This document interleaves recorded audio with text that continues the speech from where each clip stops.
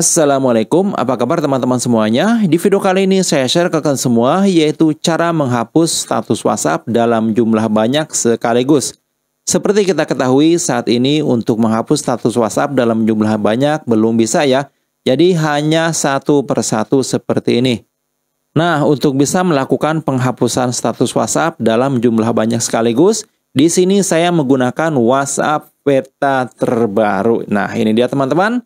WhatsApp beta yang saya gunakan adalah versi 223.218 beta. Dan untuk melakukannya, kita bisa sekaligus secara langsung. Ya, saya coba. Ini adalah status yang sudah saya buat ya, jumlahnya banyak.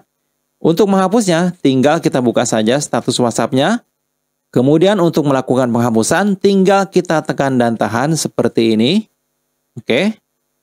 Kita tandai semua status yang akan dihapus. Jika sudah, kemudian klik di sini, ikon hapus, lalu hapus. Oke, untuk semua status WhatsApp satu persatu mulai terhapus hingga habis. Oke, bagaimana sangat mudah bukan? Dan jika kalian ingin mencobanya, silahkan update terlebih dahulu WhatsApp kalian ke versi beta terbaru seperti yang saya gunakan ini.